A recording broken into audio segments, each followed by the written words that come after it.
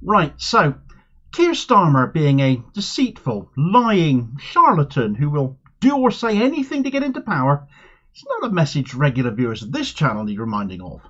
But nothing has been turning people off him and Labour generally faster than his conduct regarding Israel and Palestine, Israel and Gaza particularly, especially since the events of October 7th. Starmer said Israel had the right to commit war crimes, collective punishment, and has never apologised for it. He's continued to support the arming of Israel, saying it has a right to defend itself. Even now, five months on, as the Gaza Strip has been razed from north to south, he's opposed ceasefires to the fury of members and elected representatives of the Labour Party, overseeing scores of resignations and even faces allegations of having threatened the Speaker of the House of Commons if they didn't allow a Labour amendment on an SNP opposition day, which ended up using the cover of Islamophobia, of alleged terrorist threats that we knew nothing of before and had not been followed up on since to all appearances, to excuse itself. So deciding at the start of Ramadan, the Muslim holy month, without a much hoped for ceasefire being put in place ahead of it beginning, to put out a message of best wishes to Muslims from Keir Starmer has gone down as badly as it deserved to. Right, so of all the people to send out a tweet wishing Muslim communities well right now, the last person many of them will want to hear that from is Keir Starmer, as has certainly been the case since this aired. I'm very clear. Israel must have that, does have that right to defend herself, um, and Hamas bears responsibility. A siege is appropriate? cutting off power, cutting off water? Sir Keir? Well, I think that Israel does have that right. It is an ongoing situation. Um, obviously, everything should be done within international law, but I don't want to step away from the sort of core principles that Israel has a right to defend herself and Hamas bears responsibility for these terrorist acts. And I would call on all responsible states, particularly Middle East um, responsible states to call this out for what it is um, and to stand with the world in condemning, utterly condemning, these actions by Hamas. That video deserves to haunt Starmer for the rest of his days. It heralded a collapse in Muslim support for Labour that has now fallen to half of what it was under Jeremy Corbyn. And to this day, Starmer has not apologised for saying what he did. Instead, he has just denied he ever said it denied he ever said Israel has the right to withdraw food and water from Gaza as an occupying force, denied saying he supported collective punishment, his knowledge of international humanitarian law, despite being a former human rights lawyer, clearly sorely lacking. Worse than his words on this matter, though, awful as they are, have been his actions, though. They do speak louder than words, after all. Starmer has refused to back a ceasefire time after time, backing only humanitarian pauses so that Israel can go right back to bombing Gaza after dropping some aid in.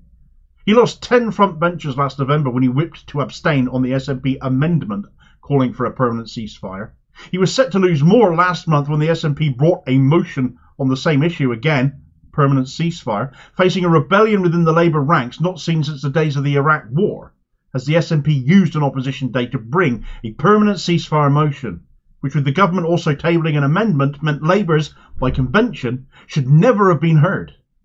Yet somehow Starmer leant on the weakling Speaker Lindsay Hoyle, convincing him somehow, the allegation being a threat to his position and future support to return as Speaker after the general election, to coerce him into setting aside the relevant standing despite no vote being taken on it.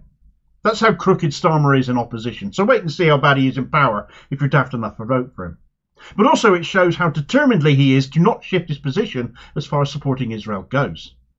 He has disgusted so many people in this country, not least members of his own party who have gone in droves. And Labour's attitude to that is they are shaking off fleas. Fleas they still want to vote from come the general election, of course. Well, I hope they all flee a long way from Labour and take those votes elsewhere. It's not just been members, though, it's been elected representatives too, up and down the country, from Newham to Oxford, Burnley, Stroud, Manchester, and more, actually losing control of some of these councils due to this pro Israel, Zionist without qualification position Starmer has, and still he will not budge an inch over. The latest of these has been in Lambeth, following suspension for daring to vote through a ceasefire motion that Labour now officially support since their SNP undermining amendment managed to pass in the Commons. A councillor literally suspended for supporting that ceasefire, which is also Labour's party position, exposing as fact that the amendment carries no actual weight for Starmer and was there purely just to take the legs out from under the SNP. The resignation letter from Councillor Sonia Winifred from the Labour Party is utterly damning. Reading, Taking the decision to resign my seat as Labour councillor for Knights Hill Ward was one of the most difficult decisions I have had to make. I have lived in Lambeth since 1965, arriving in this country to join my parents, who as members of the Windrush generation came to establish a better life. Throughout my career I have served the community in Lambeth.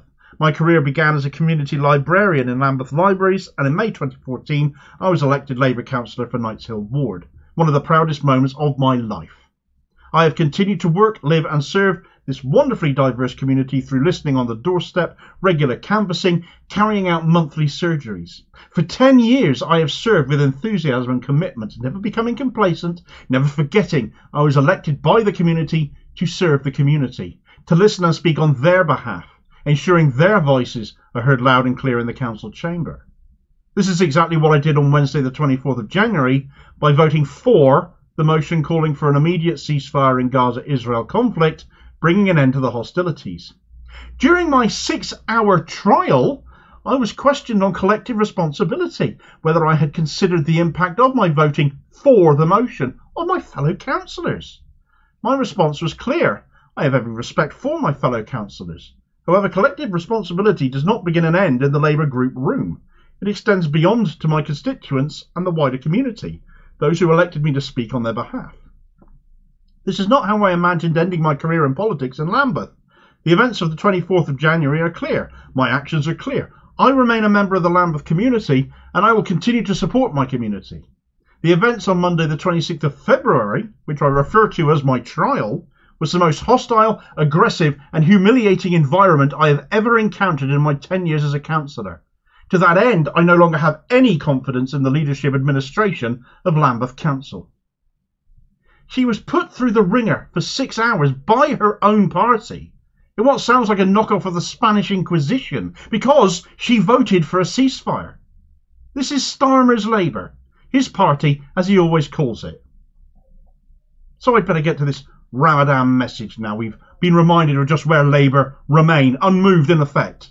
The insult and offence and disgust that Labour's pro Israel without qualification attitude has caused to so many people across the country, as Starmer decided, in his infinite wisdom, to tweet out As Ramadan begins, sending my best wishes to Muslims in the UK and around the world.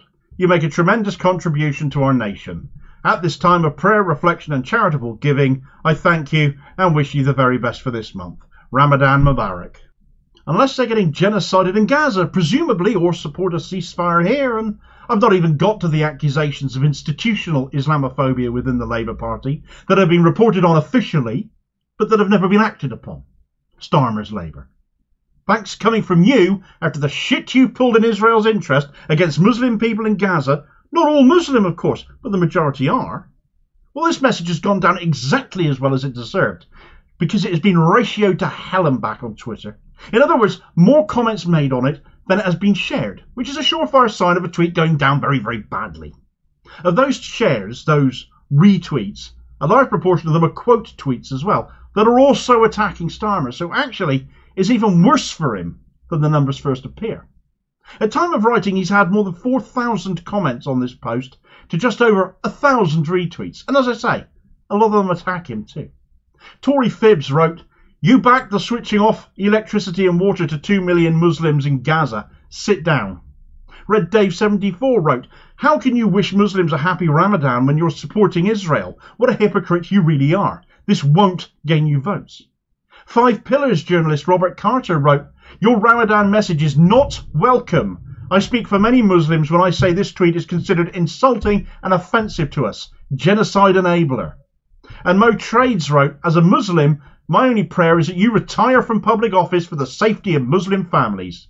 They then followed this up with, Give Galloway the job. These were amongst the more polite responses.